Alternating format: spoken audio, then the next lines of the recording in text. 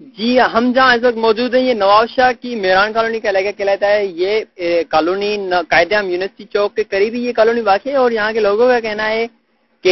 ये जो बारिश का पानी है अब देख रहे हैं बारिश का पानी जो कि अभी गंदे नाले की सूरत तैयार कर चुका है यहाँ पे और यहाँ के मकामी लोगों का कहना है कि सोसाइटी के जो जागीरदार हैं या जो रईस हैं, उन्होंने अपनी जमीनें बचाने की खातिर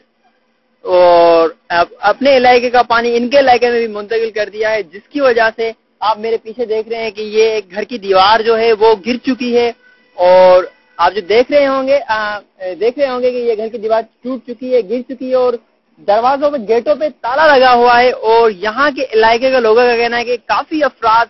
यहाँ से नकल मकानी कर चुके हैं और ये इस गंदे नाले गंदे पानी की वजह से काफ़ी अफराद काफ़ी बच्चे और काफ़ी खानदान मुख्तलिफ़ बीमारियों के शिकार हो चुके हैं। गैस्ट्रो की बीमारी में मुबतला हो चुके हैं और इलाके के लोगों का कहना है कि डीसीओ नवाब शाह की जानब से या किसी गवर्नमेंट के इदारे या किसी गवर्नमेंट के आ, लोगों की जानब से इनकी ना कोई मदद की गई है ना ही कोई इमदाद की गई है और ना ही इनकी हमदर्दी के लिए यहाँ पे कोई अभी तक आया है।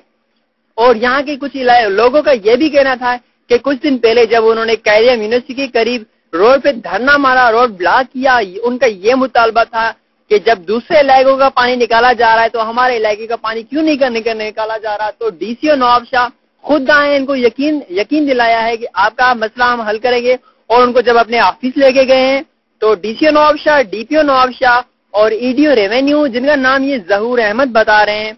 उनके बारे में इनका कहना है कि उन्होंने उन लोगों ने हमें सिर्फ़ इतने अल्फाजों में कहा कि उठ के चले जाएँ और कुछ नहीं होगा। और डीपीओ नवाब शाह ने पुलिस को ये हिदायत की है कि अगर दोबारा यहाँ के लोग इस इलाके के रोड, अगर कोई भी बंदा रोड ब्लॉक करता है या धरना मारता है तो उस, उसके ऊपर एफआईआर काट के उसको चालान कर दिया जाए। ये कहना था इन इलाकों के लोगों का। कैमरामैन जानी के साथ वकार हुसैन मल्ला न्यूज़, नवाब शाह।